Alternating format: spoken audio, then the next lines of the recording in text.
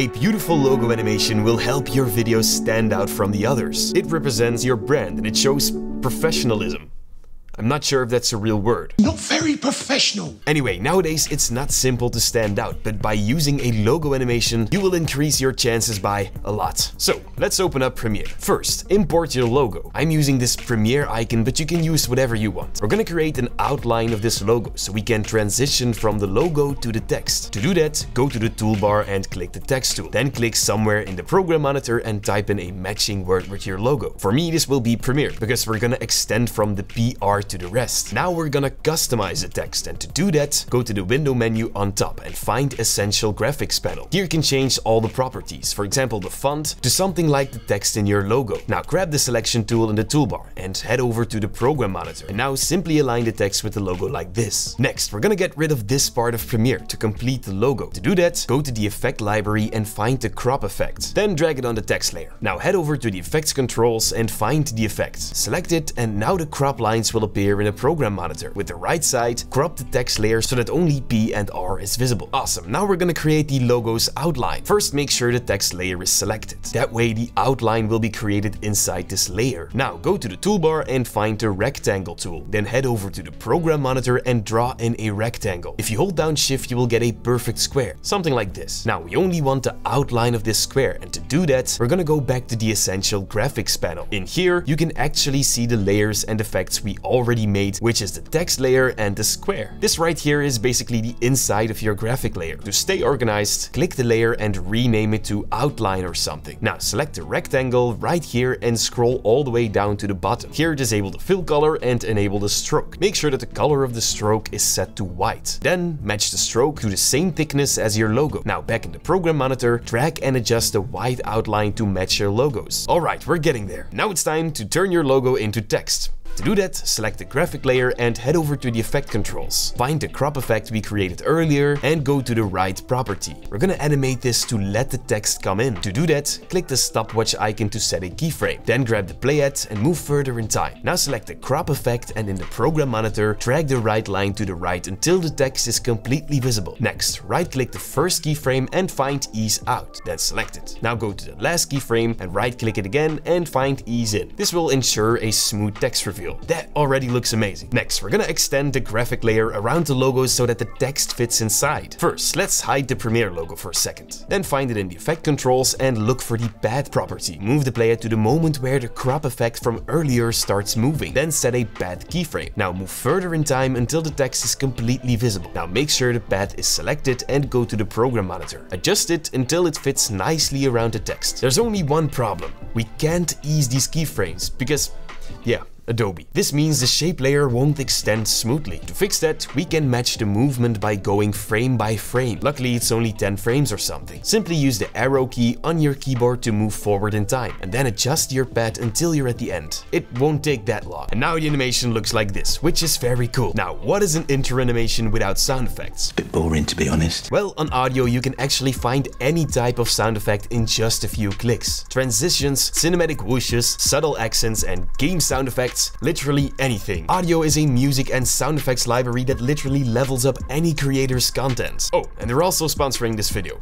Thank you so much. They also have amazing sound effects collections, which can also make it extremely simple to find whatever you need. If you like sound effects, you're gonna love the incredible music library from Audiio as well. You can choose between so many different genres, moods, types of instruments, and so much more. When I'm looking for background music for videos just like this one, I always click the instrumental button that makes browsing even easier. When I have nothing to do, I usually browse for more music and add it to my Premiere Basics playlist. That way, I don't need to spend time looking for music when I'm editing. Oh, and you can actually get 70% off of a full year subscription by using the code Premiere Basics. So, if you want to level up your content, definitely click the link down below. And now, back to Premiere. We're gonna make the text tilt away and turn into another word. To do that, make sure the graphic layer is selected. Now in the Essential Graphics, we can also drag effects inside. In the effects browser, find the basic 3D effect. Now drag it inside the graphic layer on top of the Premiere text layer. Now the basic 3D effect will only work on the text layer. Select it and go to the effect controls. Then in the effect, click the tilt stopwatch to create a keyframe. Then move a few frames forward and move the tilt forward just a little bit. Grab Grab the playhead again and move further in time. Move the tilt property backwards until it's on minus 270 degrees. That way it will disappear slowly like this. Now right click the second keyframe and set it to ease out to make it super smooth. Alright, now we're gonna transition into the second word and to do that, make sure the graphic layer is selected. Then grab the text tool again. Click somewhere in the program monitor and type in basics or whatever you need to type and position your text layer inside the box we created. Now we're gonna make this text come in using the basic 3D effect. Find it again in the effects library and drag it on top of the basics layer. Now there's one problem. This effect works not only on the basics layer but also on all the other layers underneath it. To fix that, hold down Ctrl on your keyboard and select both the effect and the basics layer. Then click the folder icon on the bottom right. Now the effect will only work on layers underneath it inside this folder. Alright, next select it and go back to the effect controls. Then move the playhead to the moment where the Premiere text is gone. Right here, set the tilt to 90 degrees. Then click on the stopwatch icon. Next, grab the playhead and move further in time. Then simply click the reset button and there you go. Now of course, right click the last keyframe and choose ease in to make the animation smooth. That looks cool, but with motion comes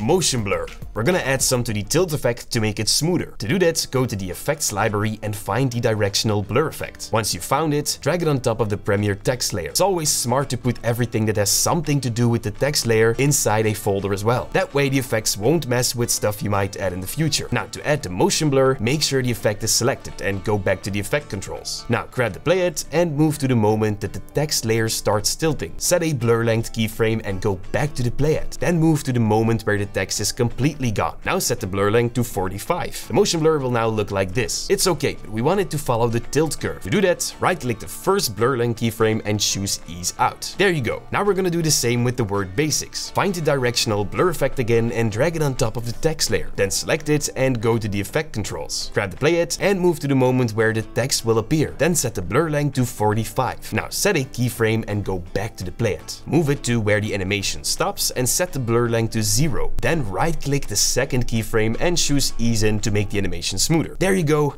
that looks amazing. Now at the moment the word basics appears, I want the outline to disappear as well. You can do that by using the basic 3D effect and the directional blur effect again, following the exact same steps. Next, we're gonna transition the logo into the text. First, make the logo visible again by clicking the view toggle. Now we're simply gonna animate the opacity right before the logo starts expanding. Go to your clip in the timeline and hold Ctrl on your keyboard. Then click the line to set an opacity keyframe. Frame, move further in time and set another one. Then drag the second one all the way down to zero. That way the logo will fade out like this. Awesome, now we're gonna create the final animation. Select everything in the timeline and right click it. Then choose nest. Call it animation or something and click on OK. Now in the effect library, find the transform effect. Drag it on the nested sequence. Head over to the effect controls and we're gonna use these properties to animate the logo. First, move the logo to the middle of the screen and then set a position and rotation keyframe. Now grab the playhead and move back in time. Bring the logo all the way down until it's not visible anymore. Then set the rotation to something around minus 50. Now select the last keyframes and right click them. Then choose easy ease in. Hold on, we're almost there. Next up, set a position keyframe before the logo starts disappearing. Then grab the playhead again and move forward until the blue logo is gone. Then move the position all the way to the left. This time set the first keyframe to ease out and the last one to ease in. And that's it, the animation looks incredible, but now it's time to work on your editing skills. So to continue the lesson, click the video right here on my left. Thank you guys so much for watching, and as always, stay creative.